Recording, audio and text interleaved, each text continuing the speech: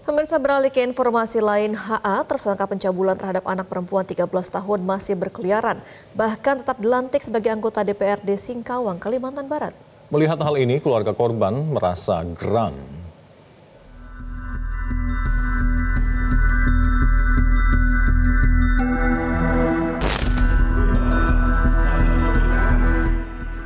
Tersangka pencabulan terhadap anak perempuan 13 tahun ini masih saja berkeliaran bahkan tetap dilantik sebagai anggota DPRD Singkawang, Kalimantan Barat.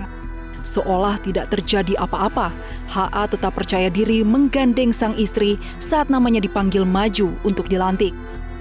Melihat hal ini, keluarga korban pun merasa geram. Kuasa hukum korban Robi Sanjaya mendesak polisi untuk segera melakukan penahanan terhadap HA. Apalagi sang wakil rakyat itu sudah dua kali mencabuli korban. Saat ini, korban merasa trauma dan stres sampai hampir mengakhiri hidupnya. Nah, apalagi ini kan anak dua umur, ini kasus khusus sebetulnya. Jadi soal ini kita telah di dan anak pada anaknya pada hari ini, korbannya pada hari ini itu malah, malah trauma. Nah, kita kita simpan, eh, kita kita ada kita amankan gitu ya. Trauma dia. Pernah satu kali dia ingin bunuh diri. Komisi Pengawasan dan Perlindungan Anak Daerah KPPAD Kalimantan Barat Eka Nurhayati pun mempertanyakan mengapa Polres Singkawang belum juga menahan HA. Tentunya kami dari KPPD Kalbar mengambil langkah untuk melakukan koordinasi dan penyidik, mempertanyakan kenapa pelaku tersebut belum dilakukan penahanan.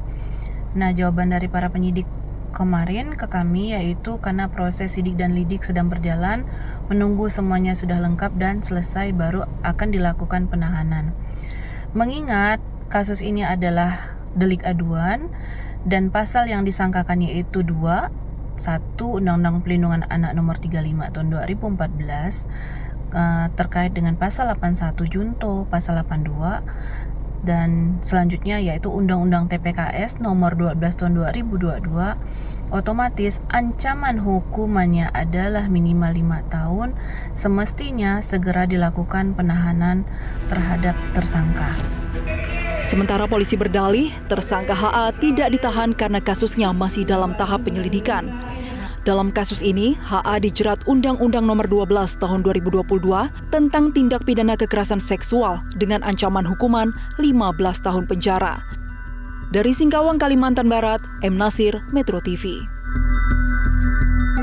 Jelajahi cara baru mendapatkan informasi. Download Metro TV Extend sekarang.